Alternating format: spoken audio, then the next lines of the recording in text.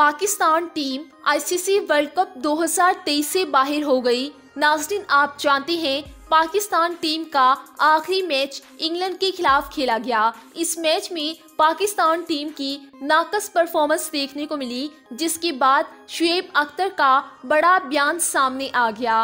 नासिन आप जानते हैं, पाकिस्तान टीम इस वक्त वर्ल्ड कप 2023 से बाहर हो चुकी है और पाकिस्तान टीम की वतन वापसी की तैयारियाँ शुरू हो चुकी हैं, जिसको लेकर शुएब अख्तर का बड़ा बयान सामने आ गया है। शुएब अख्तर ने कहा कि हमने पहले ही कहा था कि न्यूजीलैंड की फतह हुई है श्रीलंका के खिलाफ और अब पाकिस्तान को तैयारियाँ शुरू कर लेनी चाहिए कि वो वतन वापस आए। शुएब अख्तर ने कहा कि पाकिस्तान टीम का स्टार्ट बिल्कुल ही घटिया तरीन था तो एंड इससे भी घटिया तरीन हुआ। पाकिस्तान टीम ने स्टार्ट में ही अच्छी परफॉर्मेंस का मुजाहरा नहीं किया था। अगर पाकिस्तान टीम स्टार्ट अच्छा लेती तो आज सेमीफाइनल के लिए क्वालिफाइड कर गई होती। लेकिन यहाँ पर पाकिस्तान टीम की जो सिलेक्शन थी और जो कप्तान उनको लीड कर रहा था, ये बिल्कुल गलत था। नासिर शुएब अख्तर के इस बयान पर आप अपनी राय कमेंट में लाजमी दीजिएगा।